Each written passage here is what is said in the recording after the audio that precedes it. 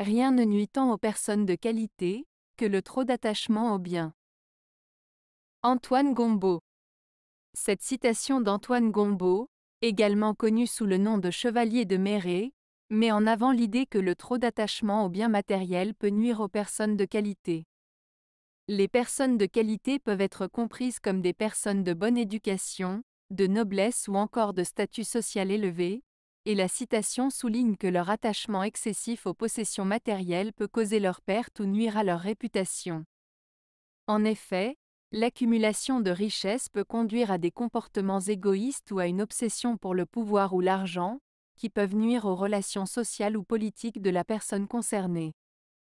De plus, l'attachement excessif aux biens peut conduire à un comportement matérialiste et à la poursuite de plaisirs éphémères, qui ne contribuent pas à une vie épanouissante et pleine de sens.